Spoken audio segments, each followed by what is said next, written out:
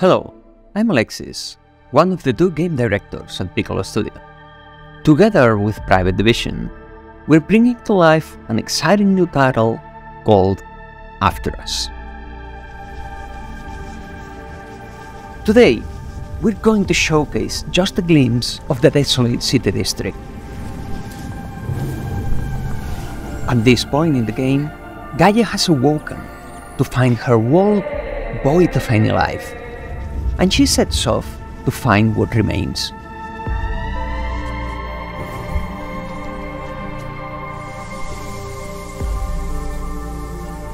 Gaia journeys through the wall, alone. But there is still hope. And with this hope, Gaia can sing, calling out for signs of life in the world.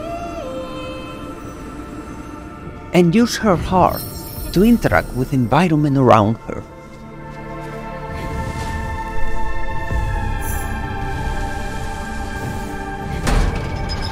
But this wall is all consuming and will challenge Gaia across her journey.